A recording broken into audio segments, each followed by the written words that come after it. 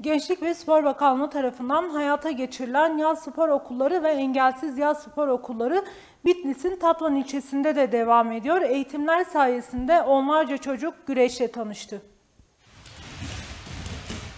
Gençlik Spor Bakanlığı tarafından hayata geçirilen yaz spor okulları, engelsiz yaz spor okulları projesi çerçevesinde Bitlis'in Tatvan ilçesinde onlarca çocuk güreşle tanıştı.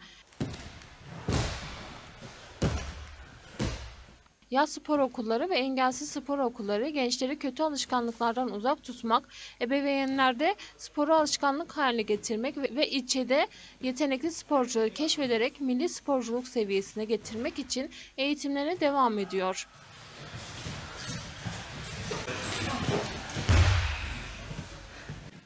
Yaz spor okulları ve engelsiz spor okulları çerçevesinde Tatvan Spor Salonu'nda 5-18 yaş arası çocuklar yaz tatilini spor yaparak değerlendiriyor. Spor okullarına katılım sağlayan çocuklar keşfedilerek güreş sporuna yönlendiriliyor. Güreş antrenörü Onur Öztemiz'in gözetiminde güreş sporuyla tanışan çocuklar antrenmanlara katılarak milli sporcu olmak için yoğun tempo ile çalışmalarını sürdürüyor.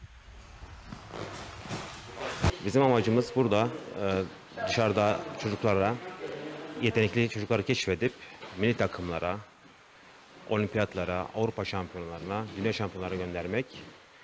Burada yetiştirdiğimiz gençlerle de yani en elit sporcuları oraya gönderip geri kalan sporcuları da antrenör, beden eğitim öğretmeni gibi branşlara yönlendiriyoruz.